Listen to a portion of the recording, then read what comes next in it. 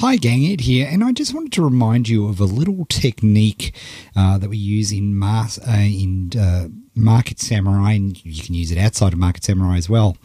But it's a little forgotten technique uh, which was invented by Rob Somerville and Dan Rain, and it's still effective today as it was back in 2006 when they first discovered it. And we call it the sanity check.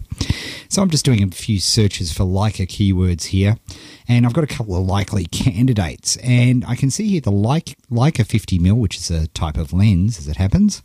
Um, it's Google's telling me that it expects the SEOT of around 374 for uh, per day traffic per day. Okay, cool, interesting. But I want to check that. I want to do a sanity check on that. Particularly the higher the number, the more you should think about doing a sanity check. So, what's a sanity check? Well, if you follow my cursor across, you'll see that I am highlighting a little chart here.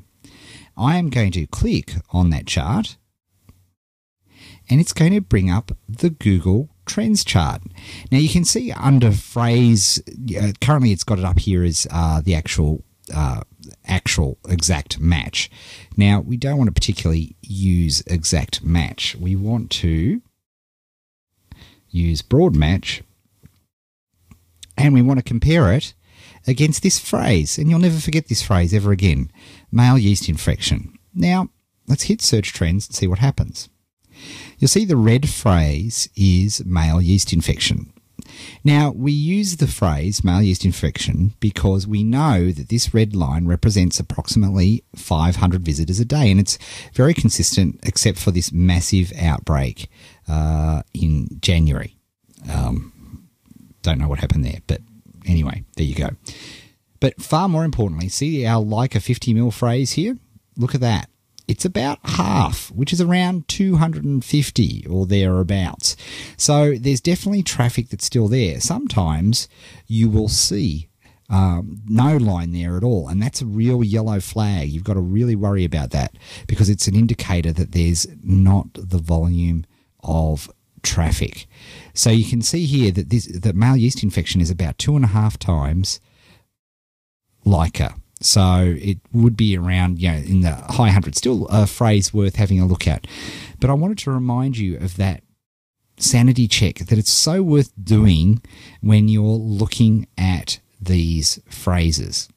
Another thing while I'm here that's worth doing is once you've decided on a page, many people forget in the SEOC competition field to actually have a look at the actual Google search. People forget this, and it's a real shame because there are things that the listings will tell you that could save you an enormous amount of time. Now, the first thing, of course, we'd like to see is we see, look, there's people advertising for the Leica M9. You can see that there, which is pretty cool.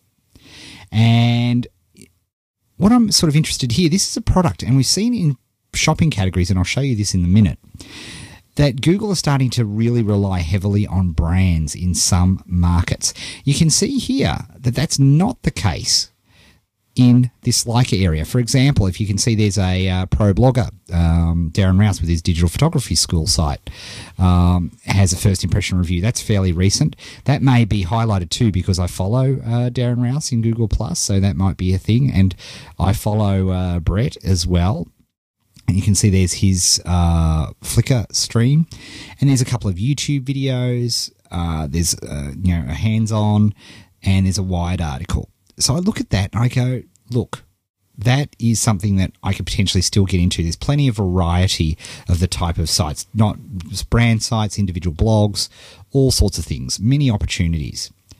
Now, let's go into the medical area. And I've been telling people in uh, Challenge Plus and Immediate Edge that the medical field is really a field that, unless you happen to be in that field and you have a uh, reputation, you are a doctor, you are uh, a company that deals with that. I wouldn't touch it with a barge pole personally, and let me show you why. Now, of course, AdWords still work. You know, there's still lots of uh, AdWords here, but let's have a look at these URLs. Skin cancer treatment is the phrase. Cancer.gov, government site, government site. Medicinenet.com, very big site. Mayo Clinic, very huge site. WebMD, very huge site. eMedicineHealth.com, another big site. Bupa.co.uk, huge site. healthinsight.gov.au, mydoctor.com.au, cancercentre.com. Now, I'm just going to check here, but I've got a feeling that uh, this is also a major sort of treatment site. Yeah, which it is. So you can see there, you know, there is no information products. There are no blogs. There are no nothing. And that's because Google got hit with a $500 million FTC judgment. Um, and they're very sensitive about the medical market. So if you don't see any blogs in here, if you don't see any information products, if you don't see anything in there, then unless you are a qualified medical uh, professional in the field, I don't know why you're there. Another place where this is manifesting itself at the moment is in, say, products like uh, this one here. I've typed in outdoor furniture. Now, I'm looking at Australian results, obviously. I'm looking from Australia, but this is even more prevalent in the US. Now, again, good, lovely, good corporate stuff. Um, lots of ads there, so lots of people searching for it. But do you see these brands? Frontgate, Brown Jordan, Chair King, Thomasville, Smith and Hawken, and the stores Walmart, Overstock, Pottery Barn, Costco, Target.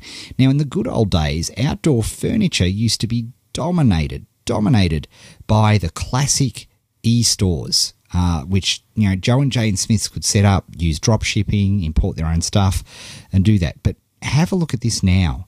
You know, all the brand name now. Outdoor Furniture Plus, I think, is probably still one of the old schools, which is great to see. And they are. That's your classic, you know, outdoor site. They have a few, many thousands of backlinks. God bless them.